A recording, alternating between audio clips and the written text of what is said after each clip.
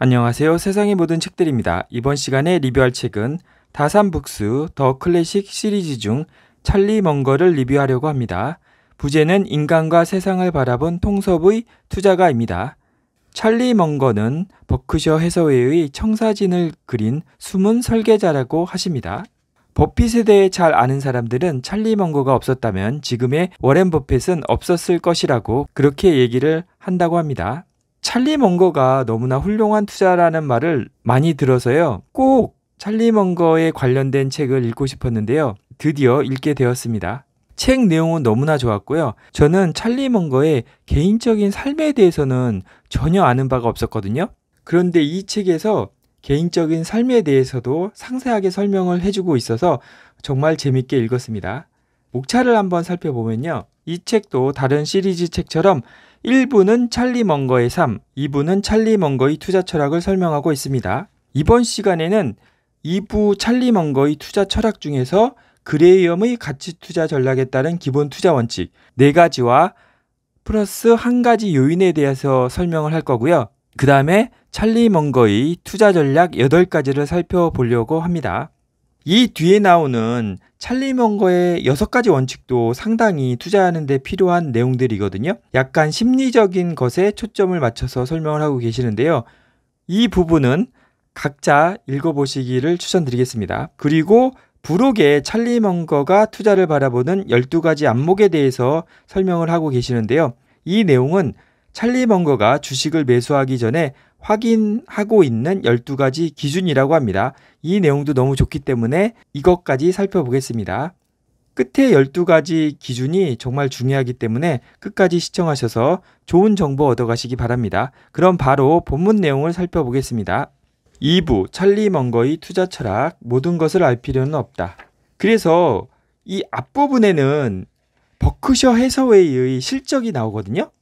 세 페이지에 걸쳐서 버크셔에서의 실적이 나오는데요. 이게 53년 동안 버크셔에서웨이가 S&P 500 대비 얼마나 수익이 좋았느냐에 대해서 설명을 하고 있는 표인데요.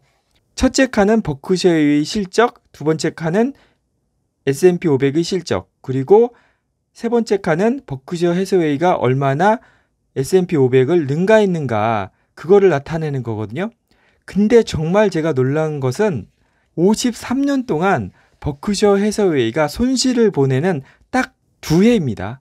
2001년 마이너스 6.2, 2008년 마이너스 9.6%입니다. 이때 시장은 마이너스 11.9% 폭락했고요. 2008년에는 무려 37%가 폭락을 했습니다. 제가 유튜브를 하면서 주식 투자를 해봤는데요. 손실을 안 보는 게 너무나 힘들더라고요. 그런데 참 어떻게 이 53년 동안 손실 본 해가 두 해밖에 없다는 것은 정말 경이적인 실적인 것 같고요.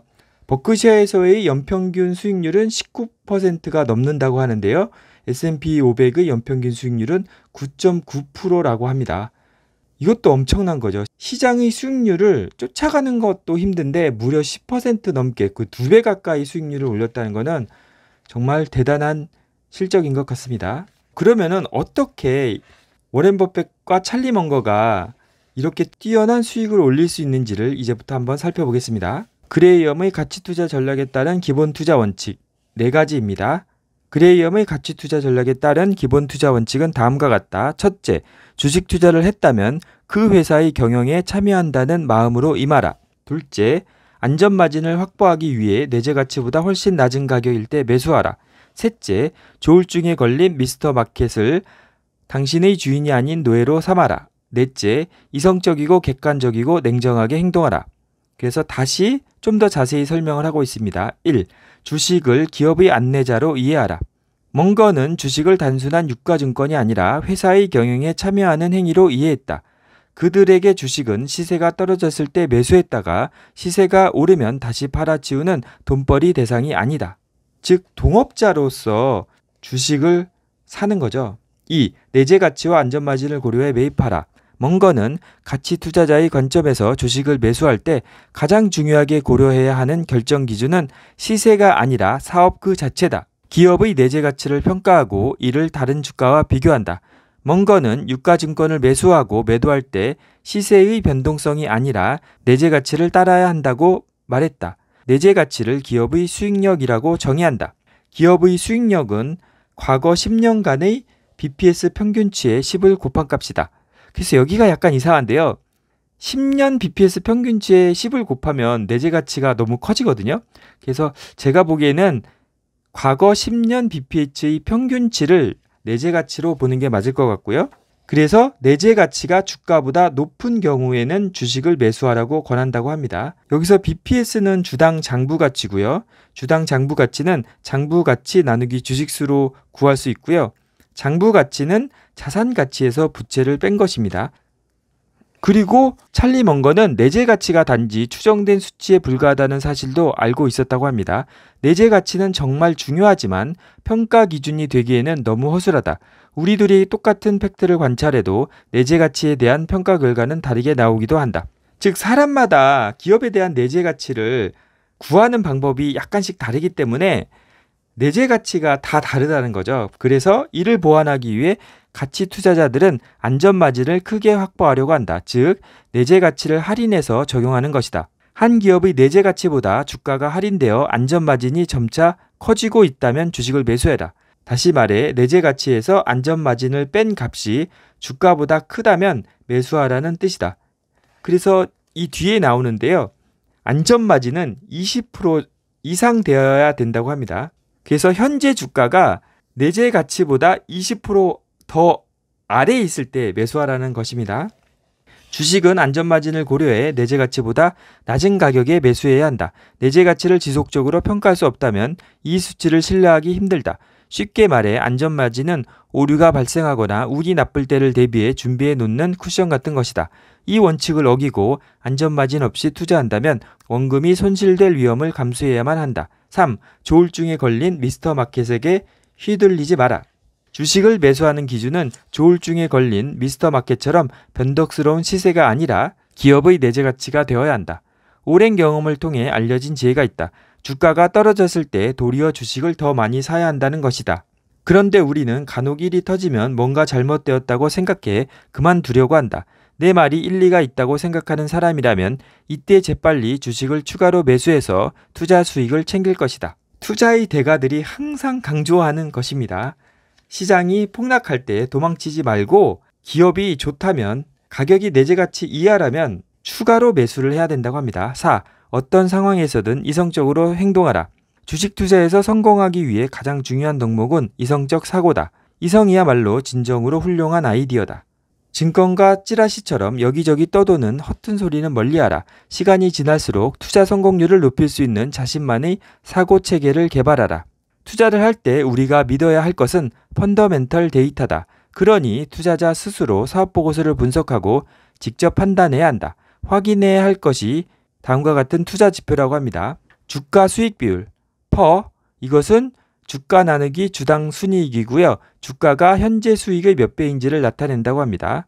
주가 장부 가치 비율, PBR은 앞에서 설명했고요. 이것은 주가 나누기 주당 장부 가치라고 합니다.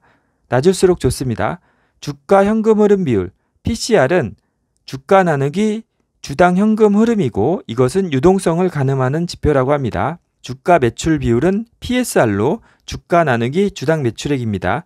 이것은 순이익이 마이너스인 tech 기업이나 신생 기업에 보통 많이 적용합니다. 켄 피셔가 개발한 지표입니다.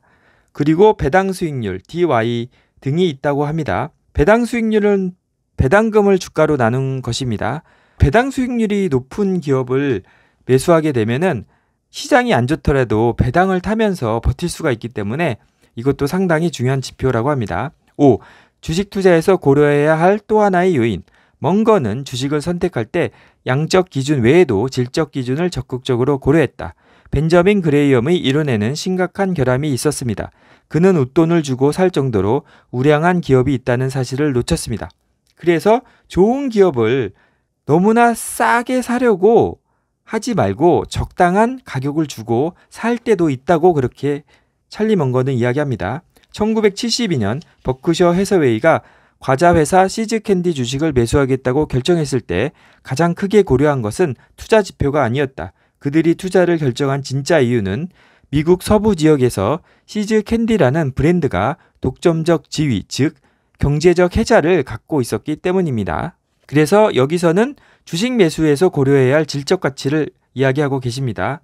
경쟁 우위, 브랜드 가치나 특허 등 높은 시장 점유율 내지 시장 장악력, 탁월한 경영, 안전 마진, 경제 위기를 극복할 수 있는 능력, 가격 전가 능력, 가격을 인상했을 때 매출이 크게 감소하지 않는가, 신뢰성, 지속적으로 안정적인 수치 혹은 좋은 수치를 보이는가, 규제 관련 규정을 다뤄본 경험, 미디어 기업의 경우, 규모상 우위, 대형 체인 시스템처럼 구매 시 제공 가격 혜택 등 규모의 경제에 따른 우위, 네트워크, 아마존, 이베이와 같이 평가 시스템이 구축되어 있는가.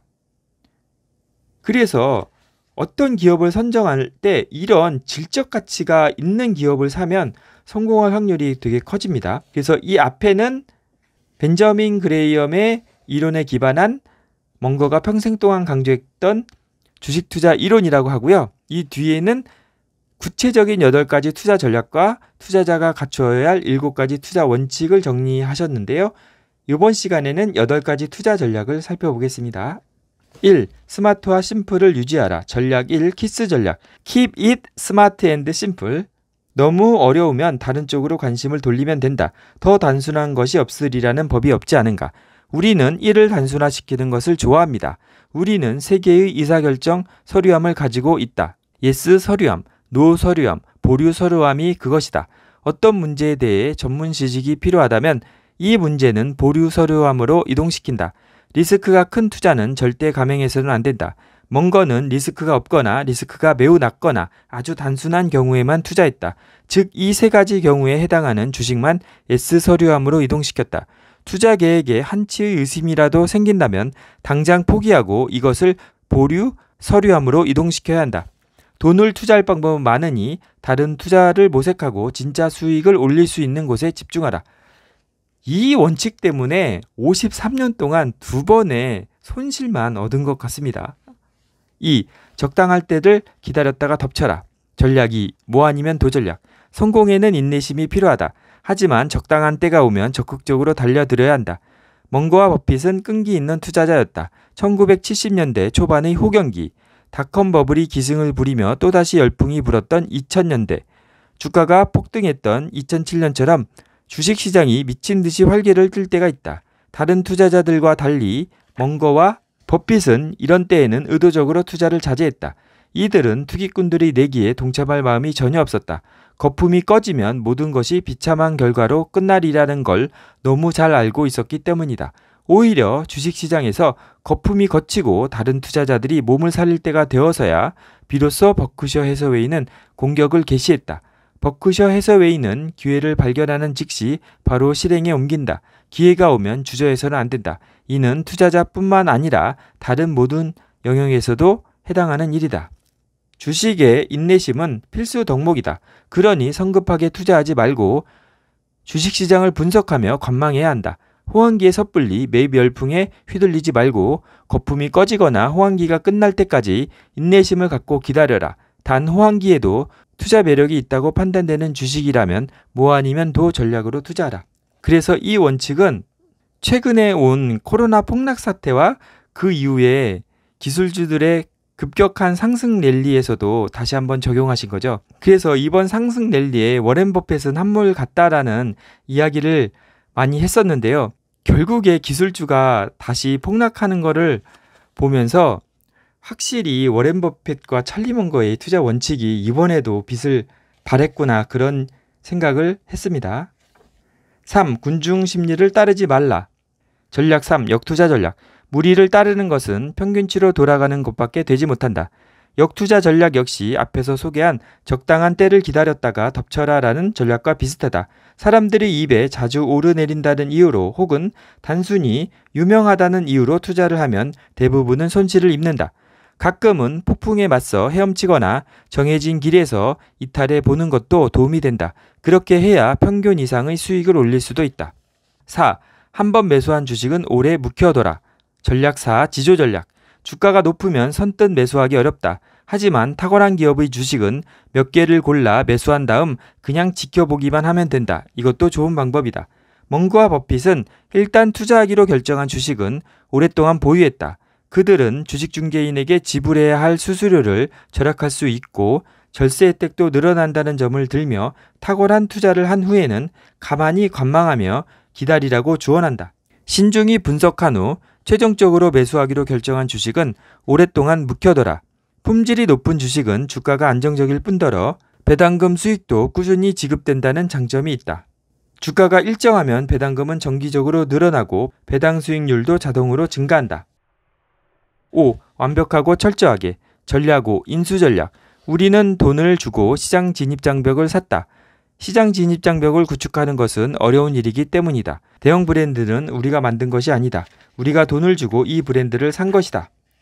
하지만 아쉽게도 개인은 기업을 통째로 인수를 못하기 때문에 지주회사에 투자하는 것은 기업을 통째로 인수하는 것과 같은 효과를 낸다고 합니다. 그래서 버크셔 해서웨이가 지주사기 때문에 이것을 사는 게 대안일 수 있다고 합니다. 6. 모르는 투자에는 투자하지 마라.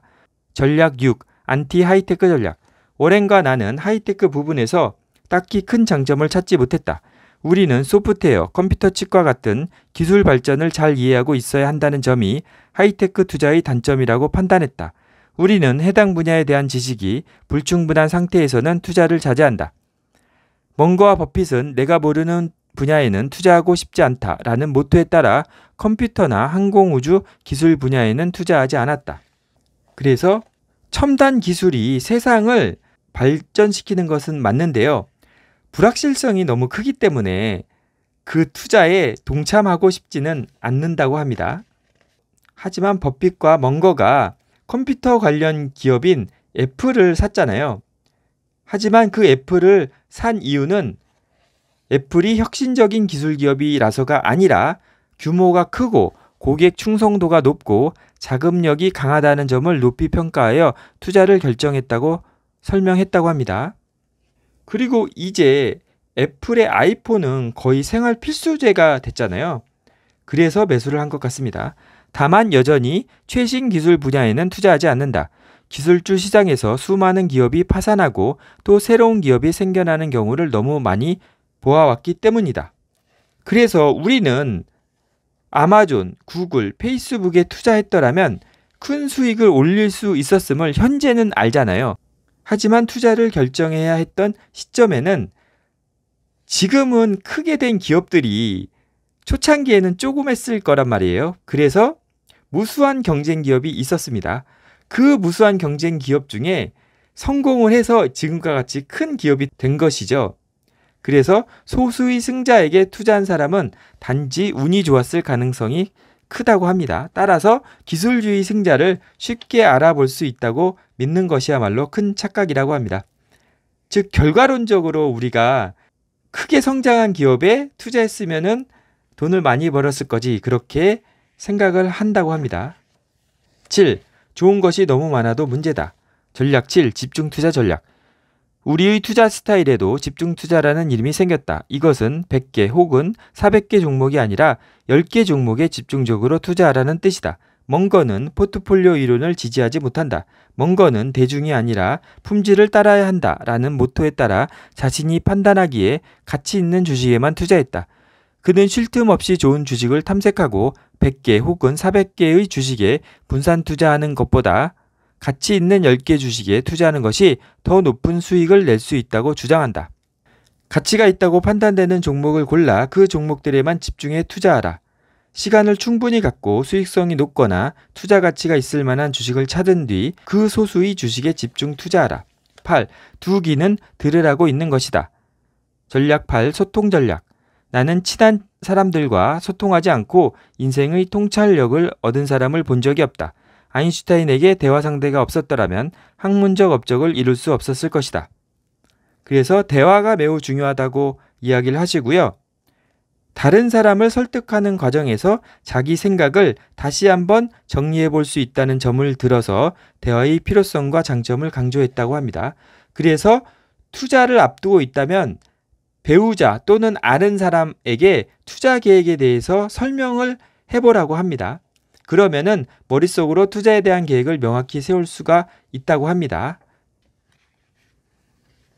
그리고 마지막으로 찰리 먼거가 투자를 바라보는 12가지 안목, 즉 주식을 매수하기 전에 확인해야 할 12가지 기준에 대해서 살펴보겠습니다. 1. 당신이 매입하려는 주식을 내재 가치에 따라 분석하라. 최소 20%의 안전마진을 두라. 2. 골라 놓은 주식이 있다면 기본적인 투자 지표를 조사하라. 앞에서 설명한 퍼, PBR, PCR, PSR, DY 등입니다. 3. 당신이 투자하고 싶은 기업에 어떤 경쟁 우위가 있는지 생각해보라. 브랜드, 특허, 품질, 탄탄하고 혁신적인 경영, 규모의 우위 등이 해자에 해당된다. 4. 기업 분석 시 예측 불가한 리스크를 생각해보라. 이런 요소가 많은 기업은 투자 대상에서 지우고 보류 서류함에 담아라. 5. 성급하게 투자하지 말고 주식시장을 분석한 후 시간을 두고 투자하라. 6. 호황기에는 분위기에 휩쓸려 주식을 매입하지 마라. 이런 시기일수록 철저하게 분석하고 투기 열풍이 지나가거나 거품이 꺼질 때까지 기다려라. 7. 소수의 최고 우량주에만 집중 투자하라. 8. 우량주는 장기 보유하라. 장기 보유하면 수수료와 세금을 절약할 수 있다. 9. 정착 단계에 도달하지 못한 하이테크 주나 신기술에 투자하지 마라. 10. 대출을 받아 주식을 매수하지 마라. 리스크가 매우 크다. 11. 주식 투자에 관심 있는 친구, 동료, 친척과 함께 투자 계획에 대한 대화를 나눠보라. 12. 나만의 주식 투자 네트워크를 구축하라. 이렇게 주식을 매수하기 전에 확인해야 될 12가지 원칙에 대해서 살펴보았습니다. 이렇게 더 클래식 시리즈 중 찰리 먼거를 살펴봤는데요. 이게 지금 더 클래식 시리즈 중 세 번째 책이거든요. 피터 린치, 앙드레 코스톨라니, 찰리 먼거 이렇게 세 권을 리뷰를 했습니다. 어, 제가 생각하기에는 저는 피터 린치와 앙드레 코스톨라니의 책은 많이 읽어봐 가지고 많이 아는 내용이 많았었거든요. 근데 이번 책은 찰리 먼거의 삶도 처음 보는 거고 찰리 먼거의 투자 전략도 처음 접하는 것이기 때문에 너무나 재밌게 읽었습니다. 제가 보기에는 여기에 나온 가치 투자 4가지 전략 그리고 찰리 먼거의 구체적인 투자 전략 8가지가 너무나 중요한 것 같거든요. 솔직히 이 전략대로 제대로만 투자하면 주식 투자에서는 실패할 수 없죠. 근데 그거를 쫓아하는 게 힘든 것 같습니다. 최근에 읽은 책 중에 가장 성공하기 쉬운 방법은 자기가 성공하고 싶은 분야에서 미리 성공하신 분들의 방법을 쫓아하는 것이라는 이야기를 자주 들었거든요. 그래서 외에 모범 답안이 있는데 구태여 자기의 독창적인 방법을 시험해 보려고 하냐고 그런 식으로 얘기를 하시더라고요. 그래서 제가 보기에도 워렌 버핏과 찰리 먼거는 50년간 자신의 투자 방법을 증명을 했잖아요. 그래서 두 분과 같은 투자 대가들의 투자 방법을 그대로 한번 쫓아해 보는 게 좋지 않을까 생각하고 있습니다. 처음에는 힘들지 모르는데 여러 번 투자를 시도하고 실패하고 시도하고 실패하고 이걸 반복하다 보면은 언젠가는 포기하지 않고 계속 도전을 한다면 언젠가는 성공하지 않을까 그렇게 생각하고 있습니다. 아 그래서 이 책은 정말 좋은 것 같아 가지고요. 주식 투자를 처음 시작하시는 분이나 아니면은 주식 투자를 해도 성과가 안 나시는 분들은 꼭 한번 보시기를 추천드리겠습니다. 소장하면 더 좋을 것 같고요. 이번 시간 영상이 도움이 되셨거나 다음 시간 영상이 기대가 되신다면 좋아요와 구독, 알람 설정까지 부탁드리겠습니다. 그리고 책 내용이 너무 좋으니 여러분들에게 소개시켜 주셨으면 감사하겠습니다. 긴 시간 동안 시청해 주셔서 감사하고요. 다음 시간에 좀 더 좋은 영상으로 찾아뵙겠습니다. 감사합니다.